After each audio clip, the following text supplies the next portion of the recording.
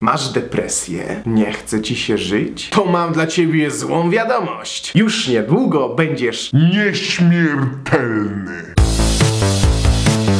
Ty głupoty znowu opowiadasz, noż nie można tego słuchać. Ha, ha, ha, to nie są głupoty. Rosyjski naukowiec Dymitr Ickow oświadczył całemu światu, nad czym będzie pracował przez najbliższe lata. Uruchomił projekt, który nazywa się 2045, w którym będzie pracował nad tym, aby człowiek stał się istotą nieśmiertelną. Jak on w ogóle chce to zrobić? I pierwszy etap to jest to, żeby przenieść mózg człowieka do sztucznego ciała, do robota. To jeszcze się nie wydaje być takie trudne, ale kolejny krok to już jest w tej chwili jeszcze abstrakcja, czyli stworzenie sztucznego mózgu i przeniesienie całej osobowości człowieka, wszystkich wspomnień, wszystkich uczuć, marzeń, pomysłów, planów właśnie do tego sztucznego organizmu. I to wydarzenie planowane jest właśnie na 2045 rok. Ten projekt ma już poparcie wielu naukowców, profesorów i multimilionerów. Dymitr Ickow mówi do wszystkich bogaczy, dawajcie mi swoje pieniążki, ja was uczynię nieśmiertelnymi. Może teraz wam się to wydaje jeszcze nierealne.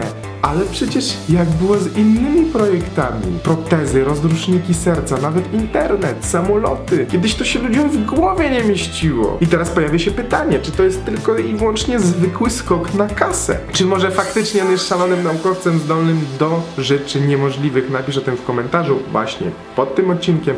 Ja się już żegnam, widzimy się jutro, jak zwykle o godzinie 19. Właśnie zjadłeś pączka. Jestem zaprogramowany, aby przekazać Ci wiadomość o lajkowaniu oczka. Lajkuj, lajkuj, lajkuj, lajkuj, lajkuj.